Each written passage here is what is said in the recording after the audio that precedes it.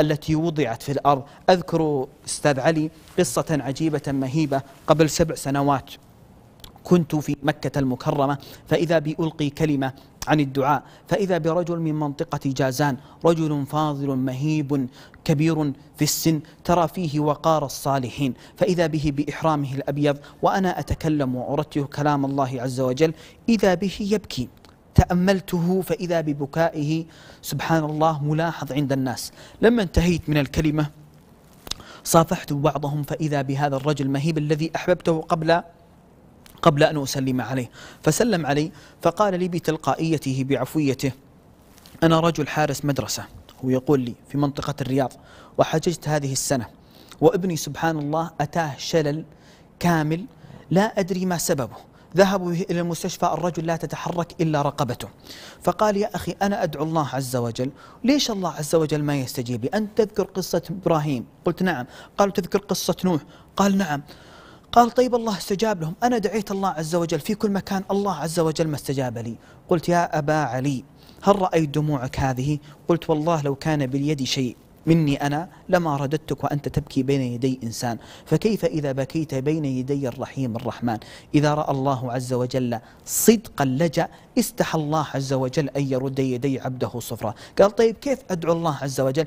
قلت كلم الله عز وجل بتلقائيتك بعفويتك بدون لغة عربية. أهم شيء طلع كلامك من قلب القلب وأنت متيقن بالله عز وجل أن الله عز وجل الذي ينبت الأرض بعد موتها أن الله عز وجل يستطيع أن يحيي جسد ابنك. أعرض عني لكن الله عز وجل ما أعرض عنه.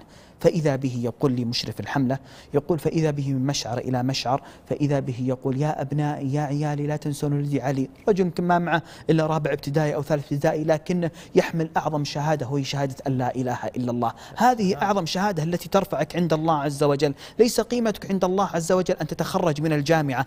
أهم شيء أن تكون من خريج الجامع المسجد أن تكون من أهل الصفوف الأول أن يعرفك الله عز وجل أن يذكرك الملائكة عند الله عز وجل يسمونك باسمك. هذا عبدي فلان يباهي الله عز وجل بك الملائكة. هذا الذي حدث لهذا الرجل الصالح. فإذا به يلتفت إلى أبنائه يا عيالي يا أبنائي لا تنسون ابني علي. ومن مشعر إلى مشعر حتى ركبوا في الحافلة قافلين إلى مدينة الرياض فإذا به يلتفت إليهم المشرف الحملة قال يا إخواني أنتم الآن في موطنان في موطنين لإجابة الدعاء أما الموطن الأول فهو رجوعكم وسفركم وهذا موطن من مواطن إجابة الدعاء السفر. والموطن الثاني أنكم رجعتم من الحج حج بيت الله عز وجل ومن حج فلم يرفث ولم يفسق رجع من ذنوبه كيوم ولدته أمه. فإذا به يقف أبو علي ويلتفت إلى آه، اللي في الحافرة. قال يا أبنائي يا عيالي أنتم في موطنان لإجابة الدعاء. أرجوكم تكفون لا تنسون ولدي علي. فإذا به يجلس ويدعون الناس. وهم في الحافلة فإذا به يرفع يديه ويدعو الله عز وجل يقول المشرف على الحملة فإذا بهذا الرجل أرى عنده انكسار ولجأ بين يدي الله عز وجل وفجأة إذا بالجوال يرن يقول فرفع الجوال ثم بدأ ينظر هذا الرجل إلى الجوال فإذا بها من؟ إذا بها زوجة ابنه علي فرد عليها بالجوال فإذا باتصال مفاده وخلاصته يا, أبو يا أبا علي يا أبا علي زوجة ابن علي. قالت قبل شوي كنت أتقهوى جنب سرير ولدك علي فإذا بي ألتفت فإذا بابنك علي قد قام من مكانه. يا سلام. من الذي أحياه؟ من الذي شفاه؟ من الذي كشف عنه بلواه ولأواه؟ إنه الله. أمن يجيب المضطر إذا دعاه. ويكشف السوء.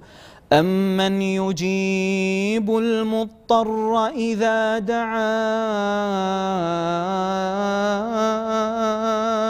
ويكشف السوء وقال ربكم ادعوني أستجب لكم أستجب لكم. إن الذين يستكبرون عن عبادتي سيدخلون جهنم داخرين. لم تنتهي القصة.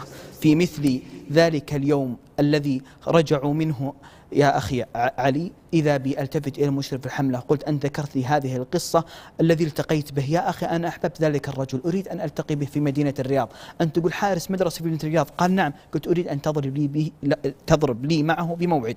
فإذا به أيها الحبيب يضرب لي بموعد مع هذا الرجل في مخرج ستة في مدينة الرياض. ذهبت إليه هناك فإذا به ينتظرني في شقة ابنه علي.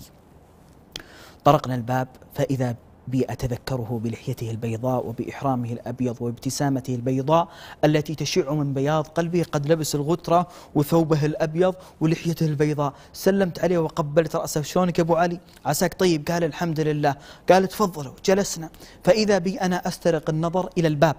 أنتظر الإبن الذي قالوا أن الله عز وجل شفاه. قلت يا أبو علي وأنا متحمس. قلت وين ولدك علي؟ قال أصبر الآن بيجيك.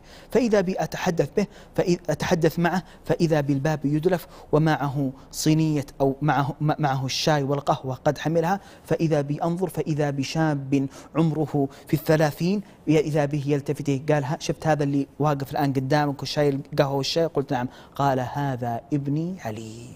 سرت في جسدي الرعشة. وارتسمت على قسماتي الدهشة لما رأيت هذا الرجل أمامي قد شفاه الله عز وجل.